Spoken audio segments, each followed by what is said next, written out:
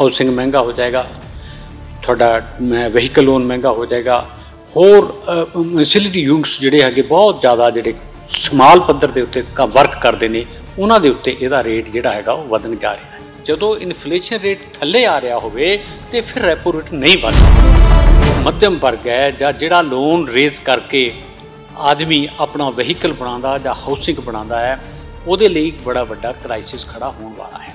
ਉਹ ਤਾਦੀ ਅੱਗੇ ਵੱਧ ਸਕਦਾ ਦੇਸ਼ ਜੇ ਉੱਥੇ ਪ੍ਰੋਡਕਸ਼ਨ ਵੱਧ ਸਾਨੂੰ ਤਾਂ ਉਰੇ 10 ਲੱਖ ਦਾ ਨਹੀਂ ਮਿਲਦਾ ਇਹ 100-100 ਕਰੋੜ ਦੇ ਲੋਨ ਆਖਰ ਲੈ ਕਿਵੇਂ ਜਾਂਦੇ ਨੇ? ਕੁਝ ਹੱਦ ਤੱਕ ਗਵਰਨਮੈਂਟ ਸੈਕਟਰ ਦੇ ਵਿੱਚ ਕੰਮ ਕਰਨ ਵਾਲੇ EMPLOYE ਇਹਨੂੰ ਟੋਲਰੇਟ ਕਰ ਸਕਣ।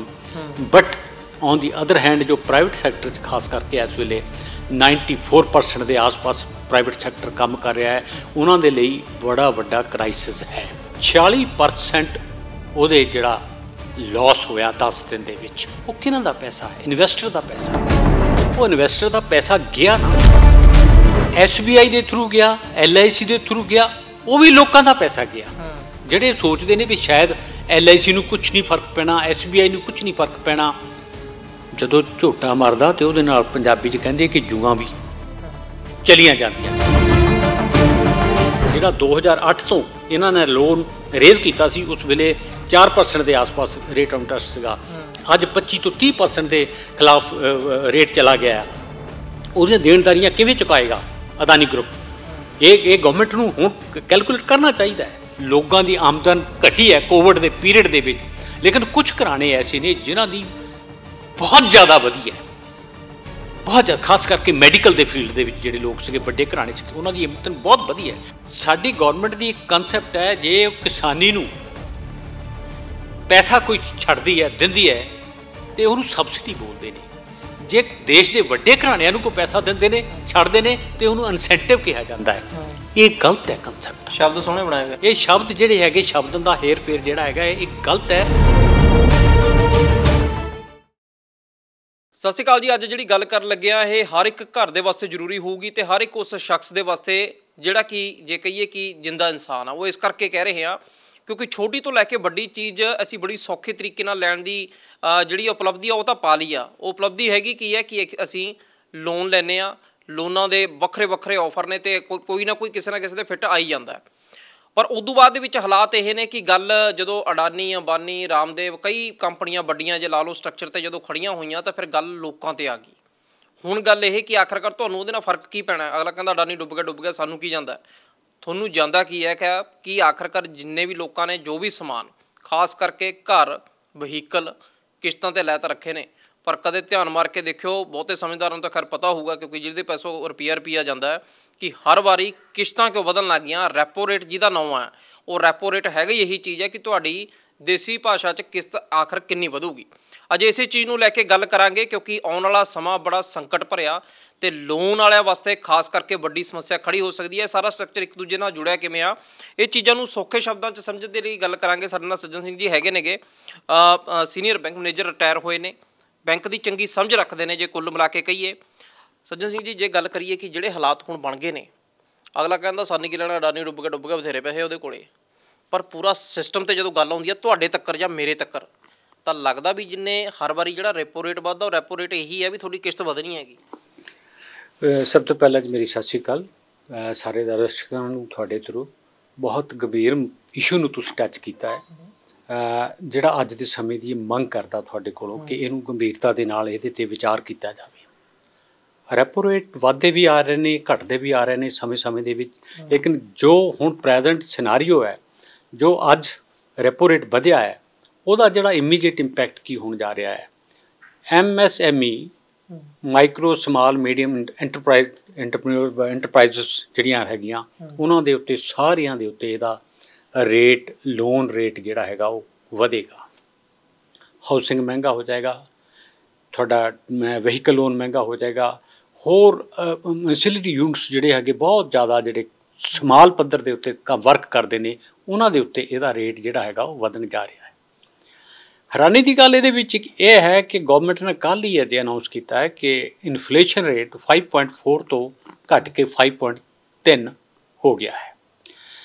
ਇਕਨੋਮੀ ਦੀ ਸਮਝ ਰੱਖਣ ਵਾਲੇ ਲੋਕ ਇਸ ਚੀਜ਼ ਨੂੰ ਅੰਡਰਸਟੈਂਡ ਕਰਦੇ ਨੇ ਕਿ ਜਦੋਂ ਇਨਫਲੇਸ਼ਨ ਰੇਟ ਥੱਲੇ ਆ ਰਿਹਾ ਹੋਵੇ ਤੇ ਫਿਰ ਰੈਪੋ ਰੇਟ ਨਹੀਂ ਵਧਦੇ ਔਰ ਵਧਾਣੇ ਵੀ ਨਹੀਂ ਚਾਹੀਦੇ। ਇਨਫਲੇਸ਼ਨ ਜੇ ਕੰਟਰੋਲ ਦੇ ਵਿੱਚ ਹੈ, ਮੌਜੂਦਾ ਸਰਕਾਰ ਦੇ ਲਈ ਇਹ ਇੱਕ ਬੜਾ ਵੱਡਾ ਕੁਐਸਚਨ ਖੜਾ ਹੁੰਦਾ ਹੈ ਕਿ ਇਹ ਰੈਪੋ ਰੇਟ ਕਿਉਂ ਵਧਿਆ? ਰੈਪੋ ਰੇਟ ਵਧਿਆ ਤੇ ਇਹਦੇ ਨਾਲ ਜਿਹੜੇ ਹੈਗੇ ਆ ਸਾਰਿਆਂ ਦੇ ਸਾਰੇ ਲੋਨ ਜਿਹੜੇ ਉਹ ਵਧਣਗੇ ਔਰ ਕਿਸ਼ਤ ਵੀ ਵਧੇਗੀ ਇਹ ਅੰਡਰਸਟੂਡ ਹੈ। ਸਵਾਲ ਇਹ ਹੈ ਕਿ ਦੇਸ਼ ਦੀ ਇਕਨੋਮੀ ਦੇ ਵਿੱਚ ਜਿਹੜਾ ਮੱਧਮ ਵਰਗ ਹੈ ਜਾਂ ਲੋਅਰ ਵਰਗ ਹੈ ਉਹਨਾਂ ਦੀ ਰੀਪੇਮੈਂਟ ਕਪੈਸਿਟੀ ਕੀ ਹੈ? ਕੀ ਉਹਦੇ ਵਿੱਚ ਉਹਨਾਂ ਦੀ ਕਿ ਵੇਜਸ ਦੇ ਵਿੱਚ ਇਨਕਰੀਜ਼ ਹੋ ਰਹੀ ਹੈ? ਜਾਂ ਉਹਨਾਂ ਦੀ ਰੀਪੇਮੈਂਟ ਕਰਨ ਦੀ ਕਪੈਸਿਟੀ ਕਿਵੇਂ ਵਧਾਵਾਂਗੇ ਅਸੀਂ? ਇਹ ਸਰਕਾਰ ਦੇ ਸਾਹਮਣੇ ਸਵਾਲ ਹੈ। ਇੱਕ ਪਾਸੇ ਤਾਂ ਅਨਇੰਪਲੋਇਮੈਂਟ ਐਕਸਟ੍ਰੀਮ ਦੀ ਵੱਧ ਰਹੀ ਹੈ। ਲੋਕਾਂ ਦੀਆਂ ਵੇਜਸ ਘਟ ਰਹੀਆਂ ਨੇ। ਫਿਰ ਇਹ ਵਧੇ ਹੋਏ ਲੋਨ ਦਾ ਕੀ ਇੰਪੈਕਟ ਹੋਏਗਾ? ਮੈਂ ਸਮਝਦਾ ਕਿ ਸਭ ਤੋਂ ਵੱਡੀ ਗੱਲ ਇਹ ਹੈ ਕਿ ਐਨਪੀਏ ਵਧਣ ਦੇ ਜ਼ਿਆਦਾ ਚਾਂਸਸ ਨੇ।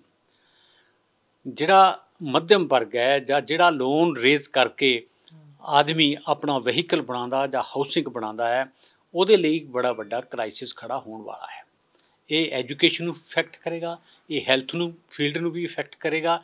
ਸੋ ਸਵਾਲ ਤਾਂ ਇਹ ਹੈ ਕਿ ਪ੍ਰੋਡਕਸ਼ਨ ਕਿਵੇਂ ਵਧੇ? ਲੋਕਾਂ ਦੀਆਂ ਵੇਜਸ ਕਿਵੇਂ ਵਧਣ? ਅਨਇੰਪਲੋਇਮੈਂਟ ਨੂੰ EMPLOYMENT ਕਿਵੇਂ ਮਿਲੇ? ਉਹਨਾਂ ਦੇ ਨਾਲ ਜਦੋਂ ਤੁਹਾਡੀ ਵੇਜਸ ਵਧੇਗੀ, ਫਿਰ ਉਸੇ ਰੇਸ਼ੋ ਦੇ ਵਿੱਚ ਜਿਹੜੀ ਇਨਸਟਾਲਮੈਂਟ ਟੋਲਰੇਟ ਬਣਦੀ ਹੈ, ਵਧਦੀ।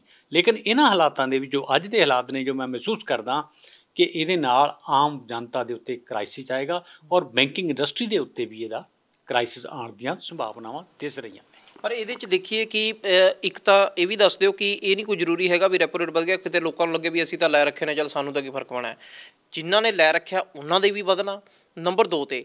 ਅਡਾਨੀ ਨਾਲ ਜਦੋਂ ਜੇ ਗੱਲ ਕਰੀਏ, ਚਲੋ ਅਡਾਨੀ ਤਾਂ ਇੱਕ ਨਾਮ ਆ ਗਿਆ ਵੀ ਜ਼ਿਆਦਾ ਚਰਚਾ 'ਚ ਵੀ ਵਿੱਚ ਰਹਿੰਦਾ, ਜਦੋਂ ਵੱਡੇ ਵੱਡੀਆਂ ਕੰਪਨੀਆਂ ਨੇ ਜਿਹੜੀਆਂ ਇਹ ਵੱਡੇ ਵੱਡੇ ਸਟਰਕਚਰ ਚੱਲ ਰਹੇ ਨੇ ਇਹ ਲੋਕ ਹਮੇਸ਼ਾ ਸਵਾਲ ਰਹਿੰਦਾ ਕਿ ਆਖਰਕਾਰ ਯਾਰ ਸਾਨੂੰ ਤਾਂ ਉਰੇ 10 ਲੱਖ ਦਾ ਨਹੀਂ ਮਿਲਦਾ, ਇਹ 100-100 ਕਰੋੜ ਦੇ ਲੋਨ ਆਖਰ ਲੈ ਕਿਵੇਂ ਜਾਂਦੇ ਨੇ?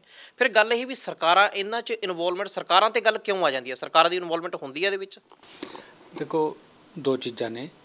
ਪਹਿਲੀ ਤੇ ਗੱਲ ਹੈ ਕਿ ਰੇਪੋ ਰੇਟ ਵਧਣ ਦੇ ਨਾਲ ਸਾਰਿਆਂ ਦੇ ਉੱਤੇ ਇਹਦਾ ਇਫੈਕਟ ਹੋਏਗਾ। ਉਹਦੇ ਨਾਲ ਨਾਲ ਥੋੜਾ ਜਿਹਾ ਇੱਕ ਛੋਟਾ ਜਿਹਾ ਵਰਗ ਇਹ ਵੀ ਹੈ, ਜਿਨ੍ਹਾਂ ਦੇ ਕੋਲ ਡਿਪੋਜ਼ਿਟਸ ਪਏ ਨੇ ਬੈਂਕਾਂ ਦੇ ਵਿੱਚ, ਖਾਸ ਕਰਕੇ ਸੈਲਰੀ ਕਲਾਸ ਜਿਹੜੇ ਗਵਰਨਮੈਂਟ ਜੌਬਸ 'ਚ ਨੇ ਜਾਂ ਜਿਹੜੇ ਰਿਟਾਇਰਡ ਲੋਕ ਨੇ ਜਿਨ੍ਹਾਂ ਦੇ ਫੰਡਸ ਨੇ ਉਹਨਾਂ ਦਾ ਡੀ ਦਾ ਰੇਟ ਵੀ ਵਧੇਗਾ। ਲੇਕਿਨ ਉਸ ਰੇਸ਼ੋ 'ਚ ਨਹੀਂ ਵਧਦਾ ਜਿਸ ਰੇਸ਼ੋ ਦੇ ਵਿੱਚ ਲੋਨ ਦੇ ਰੇਟ ਵਧਦੇ ਨੇ। ਉਹ ਅੱਛੀ ਗੱਲ ਹੈ ਕਿ ਉਹਨਾਂ ਨੂੰ ਸਪੋਰਟ ਮਿਲਣੀ ਚਾਹੀਦੀ ਹੈ। ਗਵਰਨਮੈਂਟ ਦੀ ਕੈਲਕੂਲੇਸ਼ਨ ਇਹੀ ਹੁੰਦੀ ਹੈ ਕਿ ਉਹਦੇ ਨਾਲ ਉਹਨਾਂ ਦੀ ਪਰਚੇਜ਼ਿੰਗ ਪਾਵਰ ਹੋਰ ਵਧੇਗੀ ਮਾਰਕੀਟ 'ਚ ਪੈਸਾ ਹੋਰ ਆਏਗਾ ਸਰਕੂਲੇਸ਼ਨ ਦੇ ਵਿੱਚ। ਸੋ ਇਹ ਜਿਹੜੀ ਚੀਜ਼ ਹੈਗੀ ਹੈ ਕਿ ਇਹਦੇ ਨਾਲ ਜਿਹੜਾ ਜਿਹੜਾ ਜਿਹੜਾ ਇੰਪੈਕਟ ਹੈ ਨਾ ਜਿਹੜੀ ਤੁਸੀਂ ਦੂਸਰੀ ਗੱਲ ਕੀਤੀ ਹੈਗੀ ਹੈ ਅਦਾਨੀ ਦੀ। ਅਦਾਨੀ ਫੈਕਟਰ ਜਿਹੜਾ ਇਹ ਅੱਜ ਲੋਕਾਂ ਦੇ ਵਿੱਚ ਸਾਹਮਣੇ ਆਇਆ ਹੈ। ਇਹਨੂੰ ਸਮਝਣ ਦੀ ਜ਼ਰੂਰਤ ਹੈ। ਦੇਖੋ ਕੋਈ ਵੀ ਪ੍ਰੋਡਕਟਿਵਿਟੀ ਬੇਸਡ ਗਰੋਥ ਜਿਹੜੀ ਹੈਗੀ ਹੈ ਹਮੇਸ਼ਾ ਹੀ ਇਕਨੋਮੀ ਦੇ ਲਈ ਚੰਗੀ ਹੁੰਦੀ ਹੈ। ਉਹ ਤਾਦੀ ਅੱਗੇ ਵੱਧ ਸਕਦਾ ਦੇਸ਼ ਜੇ ਉੱਥੇ ਪ੍ਰੋਡਕਸ਼ਨ ਵੱਧਦਾ ਹੈ। ਔਰ ਉਹਦੇ ਨਾਲ ਅੱਗੇ ਉਹਦੀ ਡਿਸਟ੍ਰੀਬਿਊਸ਼ਨ ਪ੍ਰੋਪਰ ਹੁੰਦੀ ਹੈ। ਜੌਬ ਕ੍ਰੀਏਸ਼ਨ ਉਹਨਾਂ ਦੇ ਵਿੱਚ ਕਿੰਨੀ ਹੈ ਉਹ ਮੈਟਰ ਕਰੇਗੀ ਅੱਜ ਮਸ਼ੀਨਰੀ ਦਾ ਯੁੱਗ ਵਧ ਰਿਹਾ ਹੈ ਜੌਬਸ ਕੰਪੈਰੀਟਿਵਲੀ ਘਟ ਰਹੀਆਂ ਨੇ ਇਵਨ ਵੱਡੇ ادارے ਵੀ ਤੁਸੀਂ ਦੇਖ ਲਓ ਜ਼ੂਮ ਤੱਕ ਹਰ ਜਗ੍ਹਾ ਦੇ ਉੱਤੇ ਮਾਈਕਰੋਸਾਫਟ ਸਾਰਿਆਂ ਨੇ ਲੋਕਾਂ ਉਹਦੇ ਵਿੱਚ ਰੀਟ੍ਰੈਂਚਮੈਂਟ ਹੋ ਰਹੀ ਹੈ ਦੁਨੀਆ ਦੇ ਵਿੱਚ ਰਿਸੈਸ਼ਨ ਵੱਲ ਨੂੰ ਵਧ ਰਹੇ ਨੇ ਜੌਬਸ ਘਟ ਰਹੀਆਂ ਨੇ ਤੇ ਫਿਰ ਉਹਨਾਂ ਹਾਲਾਤਾਂ ਦੇ ਵਿੱਚ ਲੋਕਾਂ ਦੀ ਆਮਦਨ ਨਾ ਵਧੇ ਤੇ ਫਿਰ ਉਹ ਲੋਕ ਕਿੱਥੇ ਜਾਣਗੇ ਇਹਦਾ ਨੁਕਸਾਨ ਹੈ ਹਰ ਵਰਗ ਨੂੰ। ਮੈਂ ਦੱਸਣਾ ਚਾਹਨਾ ਜਿਨ੍ਹਾਂ ਨੇ ਆਲਰੇਡੀ ਵੀ ਲੋਨ ਲਿੱਤੇ ਹੋਏ ਨੇ ਉਹਨਾਂ ਦੀ ਵੀ ਕਿਸ਼ਤ ਵਧੇਗੀ। ਉਹ ਆਲਟਰਨੇਟਿਵ ਉਹਦਾ ਕੀ ਪੈਦਾ ਕਰਦੇ ਨੇ ਉਹਨਾਂ ਦੇ ਸਾਹਮਣੇ ਕੀ ਹੈ? ਇਹ ਇਹ ਵਕਤ ਦੱਸੇਗਾ। ਸ਼ਾਇਦ ਕੁਝ ਹੱਦ ਤੱਕ ਗਵਰਨਮੈਂਟ ਸੈਕਟਰ ਦੇ ਵਿੱਚ ਕੰਮ ਕਰਨ ਵਾਲੇ EMPLOYE ਇਹਨੂੰ ਟੋਲਰੇਟ ਕਰ ਸਕਣ। But on the other hand ਜੋ ਪ੍ਰਾਈਵੇਟ ਸੈਕਟਰ 'ਚ ਖਾਸ ਕਰਕੇ ਇਸ ਵੇਲੇ 94% ਦੇ ਆਸ-ਪਾਸ ਪ੍ਰਾਈਵੇਟ ਸੈਕਟਰ ਕੰਮ ਕਰ ਰਿਹਾ ਹੈ ਉਹਨਾਂ ਦੇ ਲਈ ਬੜਾ ਵੱਡਾ ਕ੍ਰਾਈਸਿਸ ਹੈ। ਔਰ ਇਹ ਹੌਲੀ-ਹੌਲੀ ਹੋਰ ਟ੍ਰੈਪ ਹੁੰਦੇ ਜਾ ਰਹੇ ਨੇ। ਇੱਕ ਪਾਸੇ ਤਾਂ ਲੋਕਾਂ ਦੀ ਰੀਪੇਮੈਂਟ ਸ਼ਡਿਊਲ ਚੇਂਜ ਹੋ ਜਾਏਗੀ। ਦੂਜੇ ਪਾਸੇ ਖਦਸ਼ੇ ਨੇ ਕਿ ਜਿਹੜੇ ਬੈਂਕਾਂ ਦੇ ਲੋਨ ਹੈ ਉਹਨਾਂ ਦੇ ਉੱਤੇ ਵੀ ਇਸ ਦਾ ਬੜਾ ਮਾੜਾ ਅਸਰ ਪੈ ਸਕਦਾ ਹੈ। ਅਦਾਨੀ ਦੇ ਇਸ਼ੂ ਤੇ ਤੁਸੀਂ ਗੱਲ ਕੀਤੀ ਹੈ। ਮੈਂ ਗੱਲ ਕਹਿਣੀ ਚਾਹਨਾ ਕਈ ਲੋਕਾਂ ਨੂੰ ਇਹ ਸ਼ੰਕਾ ਹੈ। 46% ਉਹਦੇ ਜਿਹੜਾ ਲਾਸ ਹੋਇਆ 10 ਦਿਨ ਦੇ ਵਿੱਚ। 46% ਵੈਲਿਊ ਘਟ ਜਾਣਾ ਕੋਈ ਛੋਟੀ ਗੱਲ ਨਹੀਂ ਹੈ। ਉਹ ਕਿਹਨਾਂ ਦਾ ਪੈਸਾ ਹੈ? ਇਨਵੈਸਟਰ ਦਾ ਪੈਸਾ ਹੈ। ਉਹ ਇਨਵੈਸਟਰ ਦਾ ਪੈਸਾ ਗਿਆ ਨਾ SBI ਦੇ ਥਰੂ ਗਿਆ LIC ਦੇ ਥਰੂ ਗਿਆ ਉਹ ਵੀ ਲੋਕਾਂ ਦਾ ਪੈਸਾ ਗਿਆ। ਜਿਹੜੇ ਸੋਚਦੇ ਨੇ ਵੀ ਸ਼ਾਇਦ LIC ਨੂੰ ਕੁਝ ਨਹੀਂ ਫ਼ਰਕ ਪੈਣਾ SBI ਨੂੰ ਕੁਝ ਨਹੀਂ ਫ਼ਰਕ ਪੈਣਾ ਜਦੋਂ ਝੋਟਾ ਮਾਰਦਾ ਤੇ ਉਹਦੇ ਨਾਲ ਪੰਜਾਬੀ ਚ ਕਹਿੰਦੇ ਕਿ ਜੂਆਂ ਵੀ ਚਲੀਆਂ ਜਾਂਦੀਆਂ ਨੇ। ਵੱਡੇ ਬਹੁਤ ਵੱਡੇ ਅਦਾਰੇ ਜਿਹੜੇ ਹੈਗੇ ਜਦੋਂ ਉਹ ਇਸ ਤਰ੍ਹਾਂ ਦੇ ਕ੍ਰਾਈਸਿਸ ਚਾਹੁੰਦੇ ਨੇ ਪਾਸ ਦੇ ਵਿੱਚ ਵੀ ਰਿਕਾਰਡ ਹੈ। ਉਹ ਨਾਲ ਬਹੁਤ ਵੱਡਾ ਥੱਲੇ ਡੈਮੇਜ ਕਰਕੇ ਜਾਂਦੇ ਨੇ। ਇਸ ਪਾਸੇ ਵੱਲ ਨੂੰ ਹਾਲਾਤ ਜਿਹੜੇ ਹੈਗੇ ਉਹ ਨਜ਼ਰ ਆ ਰਹੇ ਨੇ। ਚੰਗੀ ਗੱਲ ਹੈਗੀ ਹੈ ਅਦਾਨੀ ਗਰੁੱਪ ਇਸ ਚੀਜ਼ ਨੂੰ ਸੰਭਾਲੇ। ਗਵਰਨਮੈਂਟ ਆਪਣਾ ਬਣਦਾ ਰੋਲ ਅਦਾ ਕਰੇ। ਗਵਰਨਮੈਂਟ ਨੂੰ ਇਹ ਚਾਹੀਦਾ ਹੈ ਕਿ ਇਹਦੀ ਇੰਡੀਪੈਂਡੈਂਟ ਏਜੰਸੀਜ਼ ਦੇ ਥਰੂ ਇਹਦੀ ਅਸੈਸਮੈਂਟ ਕਰਵਾਏ ਕਿ ਵਾਕਈ ਇਹਦੀ ਵਰਥ ਕੀ ਹੈ ਵੈਲਿਊ ਦੀ। ਸਹੀ ਮਾਇਨਿਆਂ ਦੇ ਵਿੱਚ ਜਿਸ ਵਰਥ ਦੇ ਉੱਤੇ ਕੋਈ ਕੰਪਨੀ ਖੜੀ ਹੋਵੇ, ਉੱਥੇ ਲਿਆ ਕੇ ਉਹਨੂੰ ਖੜਾ ਕਰਨਾ ਚਾਹੀਦਾ ਹੈ। ਜੇ ਅਸੀਂ ਗਲਤ ਨੂੰ ਸਹਾਰਾ ਦੇ ਕੇ ਇਦਾਂ ਦਾ ਕੰਮ ਕਰਾਂਗੇ ਕਿ ਸ਼ਾਇਦ ਉਹਦੇ ਨਾਲ ਕੋਈ ਕਿਸੇ ਵਰਗ ਨੂੰ ਕੋਈ ਫਾਇਦਾ ਦਿਸਦਾ ਹੋਵੇ, ਮੈਂ ਸਮਝਦਾ ਕਿ ਦੇਸ਼ ਦਾ ਬੜਾ ਵੱਡਾ ਨੁਕਸਾਨ ਹੋ ਜਾਏਗਾ। ਦੇਸ਼ ਨਹੀਂ ਬਚ ਪਾਏਗਾ। ਇਹੋ ਜਿਹੇ ਹਾਲਾਤਾਂ ਦੇ ਵਿੱਚ ਜੋ ਆਉਣ ਵਾਲੇ ਦਿਨਾਂ ਦੇ ਵਿੱਚ ਅਦਾਨੀ ਗਰੁੱਪ ਦੀਆਂ ਵਿਦੇਸ਼ਾਂ ਚੋਂ ਦੇਣਦਾਰੀਆਂ ਨੇ ਜੋ ਲੋਨਸ ਫੋਰਨ ਤੋਂ ਰੇਜ਼ ਕੀਤੇ ਹੋਏ ਨੇ ਉਹਨਾਂ ਦਾ ਬੜਾ ਵੱਡਾ ਵਾਰਡਨ ਸਾਹਮਣੇ ਆ ਰਿਹਾ ਹੈ। ਉਹਦੇ ਨਾਲ ਫਿਰ ਵਿਦੇਸ਼ਾਂ ਵਾਲਿਆਂ ਨਾਲ ਸਾਨੂੰ ਕੀ ਫ਼ਰਕ ਪੈਣਾਗਾ ਬਿਲਕੁਲ ਪਏਗਾ ਉਹਦੇ 'ਚ। ਉਹ ਰੀਪੇਮੈਂਟ ਨਹੀਂ ਹੋਏਗੀ ਤੇ ਉਹਦੇ ਨਾਲ ਜਿਹੜੀ ਤੁਹਾਨੂੰ ਕਰਜ਼ਾ ਜਾਂ ਜਿਹੜੀ ਆਉਣ ਵਾਲੇ ਦਿਨਾਂ ਦੇ ਵਿੱਚ ਜਿਹੜੀ ਗਵਰਨਮੈਂਟ ਦੀ ਪੋਜੀਸ਼ਨ ਹੈਗੀ ਹੈ ਕਿਉਂਕਿ ਉਹਦੇ ਵਿੱਚ ਕਿਤੇ ਨਾ ਕਿਤੇ ਇਨਡਾਇਰੈਕਟਲੀ ਜਾਂ ਡਾਇਰੈਕਟਲੀ ਗਵਰਨਮੈਂਟ ਜਿਹੜੀਆਂ ਹੈਗੀਆਂ, ਉਹਦੀਆਂ ਸਟੈਂਡ ਕਰਦੀਆਂ ਨੇ ਗਰੰਟੀਜ਼ ਆਰਬੀਆਈ ਸਟੈਂਡ ਕਰਦਾ ਉਹਦੇ ਵਿੱਚ। ਆਰਬੀਆਈ ਦੀ ਪਰਮਿਸ਼ਨ ਦੇ ਨਾਲ ਉਹ ਲੋਨ ਆਉਂਦੇ ਨੇ। ਇਸ ਤਰ੍ਹਾਂ ਨਹੀਂ ਹੁੰਦਾ ਉਹ। ਉਹ ਪੈਸਾ ਜਿਹੜਾ ਹੈਗਾ, ਜੇ ਉਹ ਵੱਡੀਆਂ ਕੰਪਨੀਆਂ ਰੇਜ਼ ਕਰਦੀਆਂ ਨੇ, ਉਹਦੇ ਕੋਈ ਪੈਰਾਮੀਟਰਸ ਨੇ, ਉਹਦੇ ਉਹਦੇ ਕੰਟਰੋਲਸ ਨੇ। ਜੇ ਉਹ ਨਹੀਂ ਹੁੰਦੇ, ਤਾਂ ਉਹਦੇ ਨਾਲ ਹੋਰ ਵੱਡਾ ਕ੍ਰਾਈਸਿਸ ਪੈਦਾ ਹੋ ਜਾਣਾ। ਅਦਾਨੀ ਗਰੁੱਪ ਦੀਆਂ ਅਗਲੇ ਸਾਲ ਜਿਹੜਾ 2008 ਤੋਂ ਇਹਨਾਂ ਨੇ ਲੋਨ ਰੇਜ਼ ਕੀਤਾ ਸੀ ਉਸ ਵੇਲੇ 4% ਦੇ ਆਸ-ਪਾਸ ਰੇਟ ਆਫ ਇੰਟਰਸਟ ਸੀਗਾ। ਅੱਜ 25 ਤੋਂ 30% ਦੇ ਖਿਲਾਫ ਰੇਟ ਚਲਾ ਗਿਆ। ਉਹਦੀਆਂ ਦੇਣਦਾਰੀਆਂ ਕਿਵੇਂ ਚੁਕਾਏਗਾ ਅਦਾਨੀ ਗਰੁੱਪ? ਇਹ ਇਹ ਗਵਰਨਮੈਂਟ ਨੂੰ ਹੁਣ ਕੈਲਕੂਲੇਟ ਕਰਨਾ ਚਾਹੀਦਾ ਹੈ। ਇਹ ਇਹ ਇਹ ਚੀਜ਼ ਇਸ ਕਰਕੇ ਇਹ ਮੈਂ ਤਾਂ ਸਮਝਦਾ ਕਿ ਇਹੋ ਜਿਹੀਆਂ ਚੀਜ਼ਾਂ ਦੇ ਵਿੱਚ ਇਹੋ ਜਿਹੀਆਂ ਕੰਪਨੀ ਦੇ ਵਿੱਚ ਜਦੋਂ ਇਸ ਤਰ੍ਹਾਂ ਦਾ ਕ੍ਰਾਈਸਿਸ ਆਉਂਦਾ ਉਹਦੀ ਥੋਰੋ ਇਨਵੈਸਟੀਗੇਸ਼ਨ ਹੋਣੀ ਚਾਹੀਦੀ ਹੈ ਉਹਦੀ ਪਾਰਲੀਮੈਂਟਰੀ ਕਮੇਟੀ ਕਰੇ ਰਿਜ਼ਰਵ ਬੈਂਕ ਕਰੇ ਗਵਰਨਮੈਂਟ ਆਫ ਇੰਡੀਆ ਕਰੇ। ਉਹਦੀ ਇੰਡੀਪੈਂਡੈਂਟ ਜਦੋਂ ਤੱਕ ਇਹਦੀ ਇਨਵੈਸਟੀਗੇਸ਼ਨ ਨਹੀਂ ਹੁੰਦੀ ਲੋਕਾਂ ਦੇ ਸਾਹਮਣੇ ਬਹੁਤ ਵੱਡਾ ਕ੍ਰਾਈਸਿਸ ਖੜਾ ਰਹੇਗਾ। ਇਹਦੇ ਚ ਇਹਦੇ- ਚ ਚੀਜ਼ ਹੋਰ ਦੱਸ ਦਿਓ ਕਿ ਇਹਨਾਂ ਦਾ ਮੇਨ ਫੰਡਾ ਹੈ ਕੀ? ਅਸਲੀ ਜੇ ਦੇਖਿਆ ਜਾਵੇ ਕੰਪਨੀ ਅੰਦਰ ਨੂੰ ਚਲਾਉਣੀ ਵੀ ਮਾੜੀ ਨਹੀਂ ਲੱਗਦੀ ਘਾਟਾ ਉਹਨੂੰ ਵੀ ਨਹੀਂ ਹੈਗਾ ਵੀ ਆਖਰਕਾਰ ਮੈਨੂੰ ਪਵੇ ਕਿਉਂਕਿ ਨਾ ਤੇ ਉਹਦੇ ਤੇ ਧੱਬਾ ਲੱਗਦਾ ਇੱਕ। ਆਖਰਕਾਰ ਸਾਰਾ ਚੋਲ ਕਰ ਕਿੱਥੇ ਜਾਂਦੇ ਨੇ ਇਹ? ਜਿਹੜਾ ਵੱਡਾ ਜਦ ਹੁੰਦਾ ਵੀ ਆਖਰਕਾਰ ਜੀ ਇਹਨੂੰ ਮਿੱਤਰ ਸੀ, ਇਹਨੂੰ ਇੰਨੇ ਪੈਸੇ ਦੇਤੇ ਕਰਤੇ, ਚਲੋ ਉਹ ਤਾਂ ਇੱਕ ਵਿਰੋਧੀ ਧਿਰਾਂ ਨੇ ਕਹਿਣਾ ਹੈ। ਅਸਲੀ ਚੋਲ ਇਹ ਕੰਪਨੀਆਂ ਕਰਦੀਆਂ ਕਿੱਥੇ ਨੇਗੇ? ਕਿੱਥੇ ਆ ਕੇ ਜਿਹੜੀਆਂ ਗੜਬੜਾਹਟ ਖੜੀਆਂ ਕਰ ਜਾਂਦੀਆਂ ਨੇ? ਦੇਖੋ, ਜਦੋਂ ਓਵਰ ਵੈਲੂਏਸ਼ਨ ਹੁੰਦੀ ਹੈ ਐਸੈਟਸ ਦੀ, ਉਹਦੇ ਵਿੱਚ ਜੇ 2 ਰੁਪਏ ਦੀ ਚੀਜ਼ ਹੈ, ਉਹਦੀ ਵੈਲੂਏਸ਼ਨ 4 ਰੁਪਏ ਦੀ ਕੀਤੀ ਜਾਵੇ ਤੇ ਉਹਦੇ ਵਿੱਚ ਗੜਬੜ ਹੋਣ ਦੇ ਹਮੇਸ਼ਾ ਚਾਂਸਸ ਰਹਿੰਦੇ ਨੇ। ਫਿਰ ਜਦੋਂ ਇੱਕ ਹੋਰ ਚੀਜ਼ ਇਹਦੇ ਨਾਲ ਜੁੜੀ ਹੋਈ, ਜੇ ਇਹੋ ਜਿਹੀ ਸਿਚੁਏਸ਼ਨ ਦੇ ਵਿੱਚ ਜਿਹੜੀਆਂ ਜਿਹਨੂੰ ਵਲਚਰ ਅਸੀਂ ਕਹਿੰਦੇ ਨਾ, ਉਹ ਉਹ, ਜਿਹੜੀ ਗਿਰਦ ਗਾਲੀ ਨਿਗਾਹ ਹੁੰਦੀ ਹੈ, ਉਹ ਇਨਵੈਸਟਰਸ ਜਿਹੜੇ ਬੈਠੇ ਹੁੰਦੇ ਨੇ ਨਾ ਸਾਈਡ ਦੇ ਉੱਤੇ ਆ ਕੇ, ਉਹ ਗ੍ਰੈਬ ਕਰਦੇ ਨੇ ਫਿਰ ਇਹਨਾਂ ਚੀਜ਼ਾਂ ਨੂੰ। ਜਦੋਂ ਇਹ ਕ੍ਰਾਈਸਿਸ ਦੇ ਵਿੱਚ ਆ ਕੇ ਕੰਪਨੀ ਕੋ ਡੁੱਬਦੀ ਹੈ ਨਾ, ਜਿਸ ਵੇਲੇ ਉਹ ਥੱਲੇ ਆ ਜਾਂਦੀ ਹੈ ਗਿਰਦੀ ਹੈ, ਉਹਨੂੰ ਪਤਾ ਵੀ ਉਹਦੀ ਵਰਥ ਹੈ, ਲੇਕਿਨ ਲੋਕਾਂ ਦੇ ਵਿੱਚ ਜਦੋਂ ਉਹਦਾ ਮਿਆਰ ਘਟਦਾ ਹੈ ਲੋਕਾਂ ਦੀ ਨਿਗਾਹਾਂ ਦੇ ਵਿੱਚ ਉਹ ਥੱਲੇ ਜਾਂਦੀ ਹੈ ਤੇ ਉਹ ਕਈ ਵਾਰ ਸ਼ੇਅਰਸ ਬਹੁਤ ਜ਼ਮੀਨ ਤੇ ਵੀ ਡਿੱਗਦੇ ਨੇ। ਉਹਨੂੰ ਫਿਰ ਉਹ ਵਲਚਰ ਇਨਵੈਸਟਰਸ ਜਿਹਨੂੰ ਅਸੀਂ ਕਹਿੰਦੇ ਆ ਉਹ ਉਹਨੂੰ ਗ੍ਰੈਬ ਕਰਦੇ ਨੇ। ਉਹਦਾ ਫਾਇਦਾ ਉਠਾਉਂਦੇ ਨੇ। ਜਿਵੇਂ ਕਿ ਪਾਸਟ ਦੇ ਵਿੱਚ ਵੀ ਹੋਇਆ, ਕਈ ਵੱਡੀਆਂ ਕੰਪਨੀਆਂ ਨੇ ਪਹਿਲਾਂ ਸ਼ੇਅਰਾਂ ਦੀ ਕੀਮਤ ਉੱਪਰ ਚੁੱਕਣੀ, ਲਿਜਾਣਾ, ਉੱਥੇ ਲਿਜਾ ਕੇ ਸਾਰਾ ਵੇਚ ਦੇਣਾ, ਫਿਰ ਉਹਨੂੰ ਵਿਡਾ ਕਰ ਜਾਣਾ ਫਿਰ ਉਹ ਥੱਲੇ ਡਿੱਗਣਾ। ਸ਼ੇਅਰ ਅਪ ਐਂਡ ਡਾਊਨ ਦੇ ਵਿੱਚ ਵੀ ਬਹੁਤ ਸਾਰੀਆਂ ਕੰਪਨੀਆਂ ਨੇ, ਬਹੁਤ ਸਾਰਾ ਪੈਸਾ ਬਣਾਇਆ। ਕਿਤੇ ਇਸ ਕੇਸ ਦੇ ਵਿੱਚ ਕੋਈ ਇਸ ਤਰ੍ਹਾਂ ਦੀ ਮੈਨੂਪੂਲੇਸ਼ਨ ਤਾਂ ਨਹੀਂ ਚੱਲ ਰਹੀ? ਜਿਹੜੀ ਮੈਂ ਗੱਲ ਕਰ ਰਿਹਾ ਕਿ ਬੇਸਿਕਲੀ ਇਨਵੈਸਟੀਗੇਸ਼ਨ ਇਹ ਹੋਣੀ ਚਾਹੀਦੀ ਹੈ ਕਿ ਇਹਦੀ ਐਕਚੁਅਲ ਵੈਲਿਊ ਕੀ ਹੈ। ਵੀ ਉਹਨੇ ਤਾਂ ਸਮਾਨ ਹੈਗਾ ਵੀ ਹੈ ਕਿ ਨਹੀਂ? ਉਹਨੇ ਦਾ ਹੈਗਾ ਕਿ ਨਹੀਂ ਹੈਗਾ। ਇਹਦੇ ਪਿੱਛੇ ਸੱਟੇਬਾਜ਼ੀ ਤਾਂ ਨਹੀਂ ਹੈ। ਇਹਦੇ ਵਿੱਚ ਇਹ ਇਹ ਜਿਹੜੀਆਂ ਚੀਜ਼ਾਂ ਨੇ ਇਹਨਾਂ ਨੇ ਬਹੁਤ ਜ਼ਿਆਦਾ ਜਾਂ ਇਹਦਾ ਜਿਹੜਾ ਲੋਨ ਸਿਸਟਮ ਹੈ ਰੋਟੇਸ਼ਨ ਜਿਹੜੀ ਹੈਗੀ ਹੈ ਉਹ ਕਿਤੇ ਰੋਂਗ ਪ੍ਰੋਸੈਸ ਦੇ ਵਿੱਚ ਤਾਂ ਨਹੀਂ ਬਣੀ। ਲੋਨ ਤੇ ਲੋਨ ਤਾਂ ਨਹੀਂ ਚੱਲ ਰਿਹਾ। ਇਹ ਸਰਕੂਲੇਸ਼ਨ ਇੱਕ ਪ੍ਰਾਪਰਟੀ ਰੇਜ਼ ਕੀਤੀ, ਉਹਦੇ ਅਗੇਂਸਟ ਦੂਸਰਾ ਲੋਨ ਹੋਇਆ, ਦੂਸਰੇ ਦੇ against ਤੀਸਰਾ ਬਣਿਆ, ਤੀਸਰੇ ਦੇ against ਚੌਥਾ ਬਣਿਆ। ਦੁਨੀਆ ਦੇ ਵਿੱਚ ਦੇਖੋ, ਸਾਹਮਣੇ ਹੈ ਲੋਕਾਂ ਦੇ ਵੀ ਜੇ ਕੋਈ 14 ਸਾਲ ਪਹਿਲਾਂ 2014 600ਵੇਂ ਨੰਬਰ ਤੇ ਕੋਈ ਵਿਅਕਤੀ ਸੀਗਾ, ਜੇ ਉਹ ਅੱਜ ਦੁਨੀਆ ਦਾ ਦੂਸਰਾ ਜਾਂ ਤੀਸਰਾ ਰਿਚੈਸਟ ਆਦਮੀ ਬਣਿਆ, ਤੇ ਉਹਦੇ ਉੱਤੇ ਅੱਛੀ ਗੱਲ ਹੈ, ਬਣਨਾ ਚਾਹੀਦਾ। ਪਰ ਇੰਨੀ ਸਪੀਡ ਦੇ ਨਾਲ ਬਣਿਆ, ਉਹਦੀ ਕਿਤੇ ਨਾ ਕਿਤੇ ਕੋਈ ਨਾ ਕੋਈ ਇਨਵੈਸਟੀਗੇਸ਼ਨ ਮੰਗ ਕਰਦੀ ਹੈ, ਸਮਾਂ ਮੰਗ ਕਰਦਾ। ਜੋ ਇੰਡੀਕੇਸ਼ਨਸ ਹੁਣ ਤੱਕ ਮਿਲੇ ਨੇ, ਜਾਂ ਜਿਹਦੇ ਪਿੱਛੇ ਜਿਹੜੀਆਂ ਸ਼ੈਲ ਕੰਪਨੀਆਂ ਨੇ, ਉਹ ਤਾਂ ਨਹੀਂ ਕੰਮ ਕਰ ਰਹੀਆਂ। ਵਿਦੇਸ਼ਾਂ ਦੇ ਵਿੱਚੋਂ ਬਲੈਕ ਮਨੀ ਕਿਤੇ ਵਾਈਟ ਹੋ ਕੇ ਤਾਂ ਨਹੀਂ ਅੰਦਰ ਆ ਰਹੀ। ਸੋ ਬਹੁਤ ਕੁਝ ਜੁੜਿਆ ਹੋਇਆ ਹੈ। ਇਹ ਲੋਕਾਂ ਨੂੰ ਇਸ ਇਸ ਸ਼ੰਕੇ ਚੋਂ ਕੱਢਣ ਦੇ ਲਈ ਇਮਾਨਦਾਰੀ ਦੇ ਨਾਲ ਮੌਜੂਦਾ ਸਰਕਾਰਾਂ ਨੂੰ ਮੈਂ ਸਮਝਦਾ, ਇਹਦੇ ਉੱਤੇ ਬੜੀ ਕਲੈਰਿਟੀ ਹੋਣੀ ਚਾਹੀਦੀ ਹੈ ਇਨਵੈਸਟੀਗੇਸ਼ਨ ਹੋਣੀ ਚਾਹੀਦੀ ਹੈ। ਐਕਚੁਅਲ ਪੋਜੀਸ਼ਨ ਦਾ ਪਤਾ ਲੱਗੇ ਤਾਂ ਕਿ ਕਿਸੇ ਹੋਰ ਕੰਪਨੀ ਦਾ ਕੋਈ ਵੱਡਾ ਨੁਕਸਾਨ ਨਾ ਹੋ ਜਾਏ। ਅੱਜ ਇਹਦੇ ਵਿੱਚੋਂ ਫੇਥ ਹਿੱਲਿਆ ਹੋਇਆ ਦੂਸਰੀਆਂ ਕੰਪਨੀਆਂ ਨੂੰ ਵੀ ਮਾਰ ਕਰ ਸਕਦਾ ਹੈ। ਜੇ ਇਹ ਫੇਥ ਉੱਠਦਾ ਹੈ ਤੇ ਜੋ ਐਫ ਆਈ ਦੇ ਵਿਦੇਸ਼ੀ ਫੰਡਸ ਦੇ ਰਸਤੇ ਇੰਡੀਆ ਲਈ ਖੁੱਲੇ ਨੇ ਜੋ ਫੰਡਸ ਆ ਰਹੇ ਨੇ ਇੱਥੇ ਇਨਵੈਸਟ ਹੋਣਗੇ ਉਹਨਾਂ ਦੇ ਉੱਤੇ ਵੀ ਕਿਤੇ ਨਾ ਕਿਸੇ ਤਰ੍ਹਾਂ ਦੀ ਕੋਈ ਚੋਟ ਵੱਜ ਸਕਦੀ ਹੈ, ਇਹ ਖਦਸ਼ੇ ਨੇ ਆਉਣ ਵਾਲੇ ਦਿਨਾਂ ਤੇ। ਪਰ ਇਹਦੇ 'ਚ ਜੇ ਦੁਬਾਰੇ ਆਪਾਂ ਆਪਣੇ ਆਮ ਲੋਕਾਂ ਤੇ ਆ ਜਾਈਏ, ਤਾਂ ਆਮ ਲੋਕਾਂ ਨੂੰ ਜਿਵੇਂ ਹੁਣ ਲੋਨ ਤੇ ਲੋਨ ਜੇ ਹਰ ਇੱਕ ਬੰਦੇ ਨੂੰ ਹੁੰਦਾ ਵੀ ਜੇ ਘਰ ਦੇ ਸਮਾਨ ਪਹਿਲਾਂ ਤਾਂ ਹੁੰਦਾ ਇਹ ਸੀ ਵੀ ਤੁਹਾਨੂੰ ਬਹੁਤ ਵੱਡੀ ਕਿਸੇ ਚੀਜ਼ ਦੀ ਨੀਡ ਹੈ, ਤਾਂ ਬੰਦਾ ਲੋਨ ਅਪਲਾਈ ਕਰਦਾ ਸੀ। ਇੱਕ ਬਕਾਇਦਾ ਤੌਰ ਤੇ ਜੇ ਕਿਹਾ ਜਾਵੇ ਕਿ ਉਹ ਅਲੱਗ ਕੰਮ ਕਰਦਾ ਸੀਗਾ ਵੀ ਲੋਨ ਲੈਣਾ ਜੀ, ਮੈਨੇ ਉਹ ਚਾਰ ਬੰਦਿਆਂ ਨੂੰ ਪੁੱਛਦਾ ਸੀ। ਹੁਣ ਗੱਲ ਇਹ ਹੈ ਵੀ ਤੁਸੀਂ ਫੋਨ ਲੈਣਾ ਲੋਨ ਤੇ ਮਸ਼ੀਨ ਲੈਣੀ ਹੈ ਵਾਸ਼ਿੰਗ ਮਸ਼ੀਨ ਲੋਨ ਤੇ, ਉਦੋਂ ਬਾਅਦ ਦੇ ਵਿੱਚ ਘਰੇ ਕਰੋਕਰੀ ਦਾ ਸਮਾਨ ਲੈਣਾ ਲੋਨ ਤੇ, ਫਿਰ ਗੱਲ ਆ ਗਈ ਕਿ ਆਖਰ ਜਦੋਂ ਬਾਈਕ ਕਾਰ ਘਰ ਇੰਨੀਆਂ ਇੰਨੀਆਂ ਚੀਜ਼ਾਂ ਜਦੋਂ ਲੋਨ ਤੇ ਨੇ ਲੋਕਾਂ ਦਾ ਸਟਰਕਚਰ ਤੁਹਾਨੂੰ ਲੱਗਦਾ ਕਿਤੇ ਨਾ ਕਿਤੇ ਹਿੱਲੂਗਾ ਇਸ ਪੂਰੇ ਸਿਸਟਮ ਨੂੰ ਲੈ ਕੇ? ਕਿਉਂਕਿ ਤੁਹਾਡੇ ਕੋਲ ਕੱਲ ਨੂੰ ਤੁਹਾਡੀ ਜਿਹੜੀ ਪ੍ਰਾਈਵੇਟ ਇਨਕਮ ਹੈ ਪ੍ਰਾਈਵੇਟ ਜੌਬ ਦੀ ਇਨਕਮ ਹੈ ਉਹਦੇ ਚ ਉਹੀ ਗੱਲ ਉਹ ਤਾਂ ਇਨਕਮ ਤਾਂ ਵਧਣੀ ਹੈ ਨਹੀਂ ਗੀ। ਕੰਪਨੀ ਇੰਨਾ ਜ਼ਿਆਦਾ ਕਦ ਕੋਈ ਵੀ ਵੱਡੇ ਤੌਰ ਤੇ ਨਹੀਂ ਬਣਾਉਂਦੀ ਫਿਰ ਆਖਰਕਾਰ ਉਹਨਾਂ ਦਾ ਬਣੂਗਾ ਕੀ?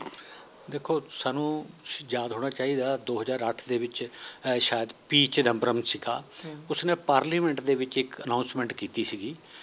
ਜਦੋਂ ਇੱਕ ਕ੍ਰਾਈਸਿਸ ਆਇਆ ਰਿਸੈਸ਼ਨ ਸ਼ੁਰੂ ਹੋਇਆ ਅਮਰੀਕਾ ਦੇ ਵਿੱਚ, ਜਿੱਥੇ ਲੈਮਨ ਬ੍ਰਦਰਜ਼ ਵਰਗੇ ਜਿਹੜੇ ਟੌਪ ਦੇ ਬੈਂਕਰ ਦੁਨੀਆ ਦੇ ਜਿਹੜੇ ਲੋਕਾਂ ਨੂੰ ਐਡਵਾਈਜ਼ ਕਰਦੇ ਸੀਗੇ ਕਿ ਬੈਂਕਿੰਗ ਨੂੰ ਚਲਾਉਣਾ ਕਿਵੇਂ ਹੈ, ਉਹ ਡੁੱਬਿਆ ਸੀ। ਉਹਦੀ ਪਾਰਲੀਮੈਂਟ ਦੇ ਵਿੱਚ ਸਟੇਟਮੈਂਟ ਸੀਗੀ ਕਿ ਹਿੰਦੁਸਤਾਨ ਦੀ ਇਕਨੋਮੀ ਤਦ ਬਚ ਗਈ ਹੈ, ਸਾਡੇ ਕੋਲ ਪਬਲਿਕ ਸੈਕਟਰ ਬੈਂਕ ਸੀਗੇ। ਪਬਲਿਕ ਸੈਕਟਰ ਬੈਂਕਸ ਦੇ ਵਿੱਚ ਸਾਡੇ ਕੋਲ ਜਿਹੜੀ ਸਾਡੀ ਇਕਨੋਮੀ ਹੈ ਬੇਸਿਕਲੀ ਡਿਪੋਜ਼ਿਟ ਬੇਸਡ ਇਕਨੋਮੀ ਹੈ। ਲੋਕਾਂ ਦੀਆਂ ਸੇਵਿੰਗਸ ਨੇ ਫੰਡ ਪਏ ਨੇ। ਟਫ ਟਾਈਮ ਦੇ ਲਈ ਗਰੀਬ ਤੋਂ ਗਰੀਬ ਆਦਮੀ ਵੀ ਆਪਣੇ ਲਈ ਕੁਝ ਪੈਸੇ ਬਚਾ ਕੇ ਰੱਖਦਾ ਬੈਂਕ ਦੇ ਵਿੱਚ। ਉਹਦੇ ਬੇਸਡ ਅੱਗੇ ਗਰੋਥ ਹੋਈ ਹੈ ਸਾਰੇ। ਜਿੰਨੇ ਦੇਸ਼ ਦੇ ਵਿੱਚ ਪ੍ਰੋਜੈਕਟ ਲੱਗੇ ਨੇ, ਉਹਦੇ ਬੇਸਡ ਸ਼ੁਰੂ ਹੋਏ ਨੇ। ਉਹ ਸ਼ਿਫਟ ਹੌਲੀ ਹੌਲੀ ਅਸੀਂ ਅੱਜ ਵੀ ਵੈਸਟਰਨ ਕਲਚਰ ਦੇ ਉੱਤੇ ਜਾ ਕੇ ਅਸੀਂ ਕ੍ਰੈਡਿਟ ਪ੍ਰਣਾਲੀ ਦੇ ਉੱਤੇ ਚੱਲ ਪਏ ਆ ਲੋਨ ਦੇ ਉੱਤੇ ਹੀ ਸਭ ਕੁਝ ਸਾਡਾ ਚਲੇ ਜਾਂਦਾ। ਸਾਡੀ ਜਿਹੜੀ ਸੈਲਰੀ ਹੈ ਸਾਡੀ ਜਿਹੜੀ ਵੇਜ ਹੈ ਉਹ ਕਿਸ਼ਤਾਂ ਦੇ ਵਿੱਚ ਹੀ ਨਿਕਲਦੀ ਹੈ। ਜਾਂ ਇਹ ਕਹਿ ਲਓ ਕਿ ਜਿਹੜੀ। ਸਾਡੀ ਪਹਿਲੀ ਤਰੀਕ ਨੂੰ ਸਾਨੂੰ ਕੋਈ ਵੇਜ ਮਿਲਣੀ ਹੁੰਦੀ ਹੈ ਉਹ ਆਲਰੇਡੀ ਅਸੀਂ ਉਹਨੂੰ ਲਗਭਗ ਕੰਜ਼ਿਊਮ ਕਰ ਚੁੱਕੇ ਹੁੰਦੇ ਆ ਜੇ ਬਾਈ ਦੀ ਉਹ ਅਗਲੇ ਮਹੀਨੇ ਤੋਂ ਪਹਿਲੀ ਤਰੀਕ ਤੋਂ ਬੰਦ ਹੋ ਜਾਏ ਤੇ ਫਿਰ ਉਹਦਾ ਕੀ ਹੋਏਗਾ? ਕ੍ਰਾਈਸਿਸ ਕੀ ਹੋਏਗਾ? ਫਿਰ ਉਹ ਜਿੱਥੋਂ ਆ ਰਹੀ ਹੈ ਉਹ ਸਾਰੇ ਸਾਰੇ ਯੂਨਿਟ ਉਹਦਾ ਇਫੈਕਟ ਹੋਣਗੇ। ਇਹੀ ਹੀ ਫ਼ਰਕ ਰਿਹਾ। ਹੁਣ ਸਭ ਤੋਂ ਵੱਡਾ ਖਤਰਾ ਜਿਹੜਾ ਹੈ ਉਹ ਹੈ ਰਿਸੈਸ਼ਨ ਦਾ। ਆਉਣ ਵਾਲੇ ਸਾਲ ਦੇ ਵਿੱਚ ਰਿਸੈਸ਼ਨ ਦਿਸ ਰਿਹਾ ਫਿਰ। 6.5 ਜੀਡੀਪੀ ਦੀ ਗੱਲ ਕਰਦੇ ਨੇ। ਅਗਲੇ ਸਾਲ ਇਹ 6.4 ਦੀ ਪ੍ਰੋਡਕਟ ਕਰ ਰਹੇ ਨੇ। ਇਹਦਾ ਮਤਲਬ ਜੀਡੀਪੀ ਘਟ ਰਹੀ ਹੈ ਅਗਲੇ ਸਾਲ? ਜੇ ਘਟ ਰਹੀ ਹੈ ਤੇ ਫਿਰ ਸਾਡੇ ਕ੍ਰਾਈਸਿਸ ਆਏਗਾ। ਇੰਪਲੋਇਮੈਂਟ ਨਹੀਂ ਜਨਰੇਟ ਹੋਏਗੀ। ਜੇ ਜੇ ਯੂਨਿਟ ਨਹੀਂ ਲੱਗਣਗੇ, ਪੈਸਾ ਨਹੀਂ ਹੋਏਗਾ ਸਰਕੂਲੇਸ਼ਨ ਚ ਨਹੀਂ ਆਏਗਾ ਇੰਪਲੋਇਮੈਂਟ ਜਨਰੇਟ ਹੋਏਗੀ ਫਿਰ ਲੋਕਾਂ ਦੀ ਆਮਦਨ ਕਿਵੇਂ ਵਧੇਗੀ? ਇੱਕ ਬੜਾ ਵੱਡਾ ਕ੍ਰਾਈਸਿਸ ਹੈ। ਇਸ ਵੇਲੇ ਸੰਭਲ ਕੇ ਚੱਲਣ ਦੀ ਜ਼ਰੂਰਤ ਹੈ। ਮੈਂ ਨਹੀਂ ਸਮਝਦਾ ਕਿ ਇਹ ਜਿਹੜੇ ਰੇਟ ਹੈ, ਇਸ ਵੇਲੇ ਰੈਪੋ ਰੇਟ ਨਹੀਂ ਵਧਣਾ ਚਾਹੀਦਾ। ਐਟ ਲੀਸਟ ਜੇ ਹੁਣ ਵਧਿਆ ਹੈ, ਤੇ ਆਉਣ ਵਾਲੇ ਦਿਨਾਂ ਦੇ ਲਈ ਇਹਦੇ ਉੱਤੇ ਕਿਤੇ ਨਾ ਕਿਤੇ ਕੁਝ ਸਮੇਂ ਦੇ ਲਈ ਰੋਕ ਲੱਗਣੀ ਚਾਹੀਦੀ ਹੈ। ਨਹੀਂ, ਇਹ ਰਿਵਰਸ ਪੁਸ਼ ਮਾਰੇਗਾ। ਇਹਦਾ 네ਗੇਟਿਵ ਇੰਪੈਕਟ ਜਾਏਗਾ ਸੋਸਾਇਟੀ ਦੇ ਵਿੱਚ। ਆਮ ਲੋਕ ਜਿਹੜੇ ਨੇ ਉਹ ਉਹ ਉਹਨਾਂ ਉਹਨਾਂ ਦੀ ਜਿਹੜੀ ਹੈਗੀ ਹੈ ਪਰਚੇਜ਼ਿੰਗ ਪਾਵਰ ਵੀ ਘਟੇਗੀ ਰੀਪੇਮੈਂਟ ਕਪੈਸਿਟੀ ਵੀ ਘਟੇਗੀ ਔਰ ਉਹਦੇ ਨਾਲ ਇਕਨੋਮੀ ਨੂੰ ਵੀ ਕ੍ਰਾਈਸਿਸ ਦੇ ਵਿੱਚ ਖੜਾ ਕਰੇਗੀ। ਇੱਕ ਲਾਸਟ ਚ ਇੰਨੀ ਕੁ ਦੱਸੋ ਕਿ ਇਹ ਸਾਰੇ ਸਿਸਟਮ ਦੇ ਵਿੱਚ ਦੇਖਿਆ ਜਾਵੇ ਕਿਤੇ ਨਾ ਕਿਤੇ, ਜੇ ਕਹੀਏ ਕਿ ਸਾਡਾ ਉਹ ਪੁਰਾਣਾ ਸਿਸਟਮ ਅਡਾਪਟ ਕਰਨਾ ਪਊਗਾ, ਜਿਵੇਂ ਤੁਸੀਂ ਪੀ ਚਦੰਬਰ ਸਾਹਿਬ ਦੀ ਗੱਲ ਕਰੀ ਆ, ਕਿਉਂਕਿ ਕਹਿੰਦੇ ਕਿ ਸਾਡੇ ਲੋਕ ਬਚਤ ਕਰਨ ਕਰਨੀ ਜ਼ਿਆਦਾ ਭਜਦੇ ਸੀਗੇ ਤੇ ਲੋਨ ਲੈਣ ਕਰਨੀ ਘੱਟ ਲੋਨ ਜ਼ਰੂਰਤ ਤੇ ਲੈਂਦੇ ਸੀ। ਗੱਲ ਆ ਗਈ ਕਿ ਵਿਦੇਸ਼ੀ ਸਿਸਟਮ ਦੇ ਵਿੱਚ ਉਹੀ ਹੈ ਵੀ ਉਹਨਾਂ ਨੇ ਸ਼ੁੱਕਰਵਾਰ ਤੱਕ ਦਾ ਹੁੰਦਾ ਵੀ ਸ਼ੁੱਕਰਵਾਰ ਨੂੰ ਜਦੋਂ ਆਏ ਤਾਂ ਸਮਾਨ ਪੂਰਾ ਭਰਤਾ ਫ੍ਰਿਜ ਫਰੂਜ ਨਾਲੇ ਸਮਾਨ ਲਿਆਂਦਾ, ਵੀ ਹਫਤਾ ਇਹ ਚੱਲੂਗਾ, ਫਿਰ ਪੈਸਾ ਜੇਬ 'ਚ ਹੋਵੇ ਨਾ ਹੋਵੇ।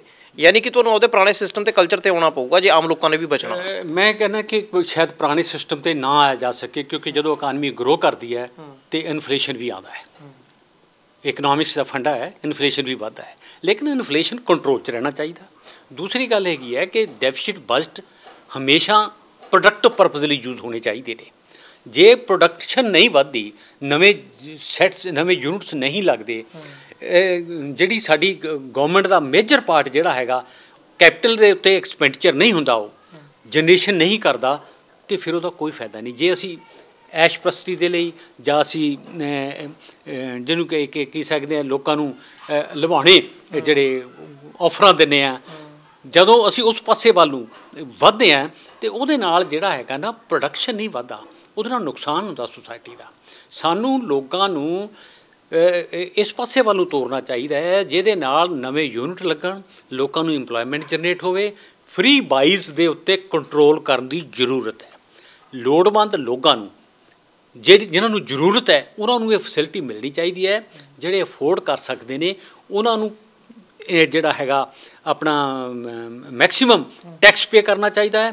ਖਾਸ ਕਰਕੇ ਇਸ ਵੇਲੇ ਹਿੰਦੁਸਤਾਨ ਦੀ ਜੋ ਪ੍ਰਸਥਿਤੀ ਬਣੀ ਹੋਈ ਹੈ 1% ਲੋਕਾਂ ਦੇ ਕੋਲ ਜਦੋਂ 40% ਧਨ ਇਕੱਠਾ ਹੋ ਜਾਏ ਤੁਸੀਂ ਕਿਵੇਂ ਸੋਚ ਸਕਦੇ ਹੋ ਕਿ ਅਪਰ ਕਲਾਸ ਜਿਹੜਾ ਅਪਰ ਸਟੇਟਾ ਕਾਰਪੋਰੇਟ ਘਰਾਣਿਆਂ ਦਾ ਟੈਕਸ ਜਿਹੜਾ ਹੈਗਾ ਵਧਣ ਦੀ ਬਜਾਏ ਘਟੇ?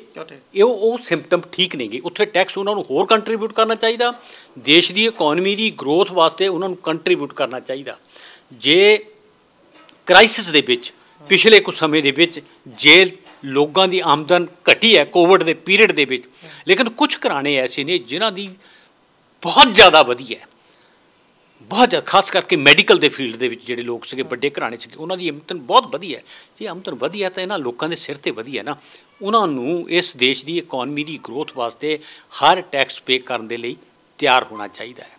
ਦੂਸਰੀ ਗੱਲ, ਸਾਡੀ ਗਵਰਨਮੈਂਟ ਦੀ ਇੱਕ ਕਨਸੈਪਟ ਹੈ, ਜੇ ਕਿਸਾਨੀ ਨੂੰ ਪੈਸਾ ਕੋਈ ਛੱਡਦੀ ਹੈ ਦਿੰਦੀ ਹੈ ਤੇ ਉਹਨੂੰ ਸਬਸਿਡੀ ਬੋਲਦੇ ਨੇ। ਜੇ ਦੇਸ਼ ਦੇ ਵੱਡੇ ਘਰਾਣਿਆਂ ਨੂੰ ਕੋਈ ਪੈਸਾ ਦਿੰਦੇ ਨੇ ਛੱਡਦੇ ਨੇ ਤੇ ਉਹਨੂੰ ਇਨਸੈਂਟਿਵ ਕਿਹਾ ਜਾਂਦਾ ਹੈ। ਇਹ ਗਲਤ ਹੈ ਕਨਸੈਪਟ ਸ਼ਬਦ ਸੋਹਣੇ ਬਣਾਏ ਹੋਏ ਇਹ ਸ਼ਬਦ ਜਿਹੜੇ ਹੈਗੇ ਸ਼ਬਦਾਂ ਦਾ ਹੇਰ ਫੇਰ ਜਿਹੜਾ ਹੈਗਾ ਇਹ ਗਲਤ ਹੈ। ਸਹੀ ਮਾਇਨਿਆਂ ਦੇ ਵਿੱਚ ਇਸ ਵੇਲੇ ਐਗਰੀਕਲਚਰ ਦਾ ਵੀ ਵੱਡਾ ਪਾਰਟ ਜਿਹੜਾ ਹੈਗਾ ਵੱਡੇ ਘਰਾਣਿਆਂ ਦੇ ਕੋਲ ਜਾ ਰਿਹਾ ਹੈ। ਜਿਸ ਨੂੰ ਬੈਨੀਫਿਟ ਜਾਣਾ ਚਾਹੀਦਾ ਉਹ ਨਹੀਂ ਮਿਲ ਰਿਹਾ। ਸੋ ਮੁੱਖ ਦੀ ਗੱਲ ਮੈਂ ਕਹਿੰਦਾ ਮੇਨ ਇਸ ਵੇਲੇ ਜਿਹੜੀ ਸਿਚੁਏਸ਼ਨ ਹੈਗੀ ਹੈ EMPLOYMENT ਜਨਰੇਟ ਕਿਵੇਂ ਹੋਵੇ? ਦੋ ਅਦਾਰੇ ਨੇ ਸਾਡੇ ਹਿੰਦੁਸਤਾਨ ਦੇ ਵਿੱਚ ਜਿਹਦੇ ਉੱਤੇ ਗਵਰਨਮੈਂਟ ਨੂੰ ਮੈਕਸਿਮਮ ਧਿਆਨ ਦੇਣਾ ਚਾਹੀਦਾ। ਹੈਲਥ ਤੇ ਐਜੂਕੇਸ਼ਨ ਉਹ ਪਬਲਿਕ ਸੈਕਟਰ ਚਾਵੇ ਗਵਰਨਮੈਂਟ ਸੈਕਟਰ ਚਾਵੇ ਔਰ ਟੈਕਸ ਦਾ ਦਾਇਰਾ ਵਧਾਉਣਾ ਚਾਹੀਦਾ ਹੈ। ਖਾਸ ਕਰਕੇ ਅਪਰ ਜਿਹੜਾ ਕਾਰਪੋਰੇਟ ਘਰਾਣੇ ਨੇ, ਵੱਡੇ ਕਲਾਸ ਹੈ ਜਿਹੜੀ, ਉਹਨਾਂ ਦੇ ਵਿੱਚੋਂ ਟੈਕਸ ਦੀ ਰਿਕਵਰੀ ਜ਼ਿਆਦਾ ਹੋਣੀ ਚਾਹੀਦੀ ਹੈ। ਟੈਕਸ ਆਏਗਾ ਫੰਡ ਹੋਣਗੇ ਡਿਵੈਲਪਮੈਂਟ ਤੇ ਲੱਗੇਗਾ। ਨਵੇਂ ਯੂਨਿਟ ਲੱਗਣਗੇ। ਜੇ ਫੰਡ ਨਹੀਂ ਹੋਣਗੇ ਤੇ ਫਿਰ ਡਿਵੈਲਪਮੈਂਟ ਵੀ ਨਹੀਂ ਹੋਏਗੀ। ਇਹ ਸਾਨੂੰ ਸਾਰਿਆਂ ਨੂੰ ਸਮਝਣਾ ਚਾਹੀਦਾ ਹੈ। ਇਹ ਹਰ ਬੰਦਾ, ਵਿਅਕਤੀ ਅੱਜ ਜੀਐਸਟੀ ਦੀ ਫਾਰਮ ਵਿੱਚ ਹਰ ਬੰਦਾ ਮੈਕਸਿਮਮ ਪੇ ਕਰ ਰਿਹਾ ਹੈ। ਔਰ ਜਿੰਨੀ ਜਿੰਨੀ ਕਿਸੇ ਦੀ ਇਨਕਮ ਵਧੇਗੀ, ਉਹਦੇ ਅਕੋਰਡਿੰਗਲੀ ਉਹ ਵਧਣਾ ਚਾਹੀਦਾ ਹੈ। ਟੈਕਸ ਵੀ ਵਧਣਾ ਚਾਹੀਦਾ ਹੈ ਤੇ ਦੇਸ਼ ਦੀ ਡਿਵੈਲਪਮੈਂਟ ਵੀ ਹੋਣੀ ਚਾਹੀਦੀ ਹੈ। ਖੈਰ, ਕਿਉਂਕਿ ਇਹ ਚੀਜ਼ਾਂ ਇਸ ਲਈ ਸਮਝਣ ਲਈ ਜ਼ਰੂਰਤ ਪੈ ਜਾਂਦੀ ਹੈ ਕਿ ਜਦੋਂ ਹੁਣ ਜਿਹੜਾ ਜੇ ਕਹੀਏ ਸਿਚੁਏਸ਼ਨ ਬੜੀ ਅਲਾਰਮਿੰਗ ਸਿਚੁਏਸ਼ਨ ਆ ਉਹ ਇਸ ਕਰਕੇ ਹੈ ਕਿਉਂਕਿ ਸਮਝਣ ਦੀ ਲੋੜ ਪਊਗੀ ਕਿ ਜੇਕਰ ਹੁਣੇ ਵੀ ਸਿਸਟਮ ਨਾ ਬਦਲਿਆ ਖੈਰ, ਇਹ ਠੀਕ ਹੈ ਕਿ ਆਮ ਲੋਕ ਜਾਂ ਇੱਕ ਦੋ ਜਾਣੇ ਜਾਂ 10 ਜਾਣੇ ਇਹ ਜਾਂ ਇਸ- ਅਸੀਂ ਕਹੀਏ ਗੱਲਾਂ ਕਰਕੇ ਇਸ ਪੂਰੇ ਢਾਂਚੇ ਨੂੰ ਨਹੀਂ ਬਦਲ ਸਕਦੇ, ਪਰ ਸਰਕਾਰਾਂ ਨੂੰ ਇਹ ਕੋਸ਼ਿਸ਼ ਜ਼ਰੂਰ ਕਰਨੀ ਪਊ ਕਿ ਠੀਕ ਹੈ, ਯਾਰਾਨੇ ਦੋਸਤਾਨੇ ਆਪਦੀ ਥਾਂ ਤੇ ਹੋਣੇ ਚਾਹੀਦੇ ਵੀ ਨੇ, ਕਿਉਂਕਿ ਅੱਗੇ ਨੂੰ ਸਿਸਟਮ ਵਧੀਆ ਚੱਲਦਾ ਰਹਿੰਦਾ। ਪਰ ਉਹਦੇ ਨਾਲ ਨਾਲ ਇਹ ਹੈ ਵੀ ਜਿਹੜੀ ਇੰਨੇ ਕਰੋੜ ਜਨਤਾ ਬੈਠੀ ਆ, ਆਖਰਕਾਰ ਉਹਨੂੰ ਲੈ ਕੇ ਤੁਸੀਂ ਕਹੇ ਜੀ ਜ਼ਿੰਮੇਵਾਰੀ ਸਾਂਭ ਰਹੇ ਹੋ ਤੇ ਜੇ ਅੱਗੇ ਨਿਭਾ ਰਹੇ ਹੋ ਪਰ ਦੂਜੇ ਪਾਸੇ ਇਹ ਹੈ ਵੀ ਆਮ ਲੋਕਾਂ ਤੋਂ ਹੁਣ ਇੱਕ ਗੱਲ ਸਮਝ ਲੈਣੀ ਚਾਹੀਦੀ ਹੈ, ਜਿਵੇਂ ਇਹਨਾਂ ਨੇ ਸੁਣਾਈ ਕਿ ਆਖਰ ਜਦੋਂ ਬੇਲੋੜੀਆਂ ਚੀਜ਼ਾਂ ਕਰਨੀਆਂ ਅਸੀਂ ਵਾਧੇ ਆ ਤੇ ਲੋਨ ਲੈ ਲੈ, ਸਾਨੂੰ ਲੱਗਦਾ ਬੜੇ ਸੌਖੇ ਤਰੀਕੇ ਨਾਲ ਆ ਤਾਂ ਗਈਆਂ। ਪਰ ਜੇਕਰ ਕੱਲ ਨੂੰ ਪ੍ਰਾਈਵੇਟ ਨੌਕਰੀ ਨਹੀਂ ਰਹਿੰਦੀ, ਜਿਹੜੀ ਕਿ ਹਰ ਸਮੇਂ ਤਲਵਾਰ ਲਟਕਦੀ ਰਹਿੰਦੀ ਆ, ਤਾਂ ਉਹਦੇ ਵਾਸਤੇ ਕਮ ਸੇ ਕਮ ਲੋਨ ਜਿੰਨੇ ਘੱਟੋ ਘੱਟ ਲਏ ਜਾਣ ਚੰਗਾ ਹੈ, ਕਿਉਂਕਿ ਇਹ ਜਿਹੜਾ ਰੈਪੋ ਰੇਟ ਵੱਧਦਾ ਤਾਂ ਪਰ ਹਰ ਵਾਰੀ ਸਿਸਟਮ ਹਲਾਉਂਦਾ ਥੋੜੀ ਤਨਖਾਹ ਉਨੀ ਨਹੀਂ ਵੱਧਦੀ ਜਿੰਨੀ ਸਪੀਡ ਦੇ ਨਾਲ ਰੈਪੋ ਰੇਟ ਵੱਧ ਰਿਹਾ। ਵੀਡੀਓ ਜਰਨਲਿਸਟ ਅਮਨ ਦੇ ਨਾਲ ਸਮਿਤ ਸਿੰਘ ਰੋਜ਼ਾਨਾ ਸਪੋਕਸਮੈਨ ਟੀਵੀ ਚੰਡੀਗੜ੍ਹ।